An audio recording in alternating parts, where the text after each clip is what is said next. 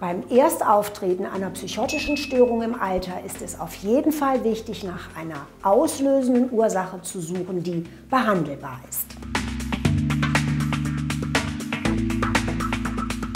Im Alter treten wie auch bei jüngeren Betroffenen Psychosen aus dem schizophrenen Formenkreis auf und sogenannte affektive äh, Psychosen, das sind Depressionen und Manien.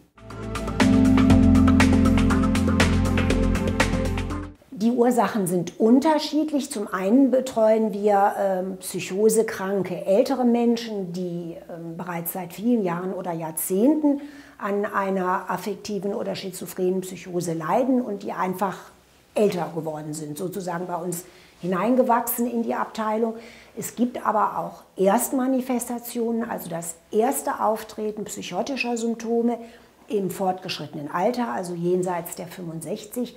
Das ist für uns immer ein wichtiges Signal, dass wir abklären müssen, ob da eine hirnorganische oder andere körperliche Ursache im Hintergrund steht. Eine Durchblutungsstörung im Kopf, ein Hirntumor, entzündliche Prozesse, die man dann diagnostizieren und entsprechend auch gezielt therapieren kann. Dann ist die Psychose im Idealfall auch weg. Auch da gilt, dass im Alter äh, die gesamt der ganze Stoffwechsel ein bisschen langsamer arbeitet als bei jüngeren Patienten. Das muss man berücksichtigen bei der Wahl der Psychopharmaka und bei der Dosierung.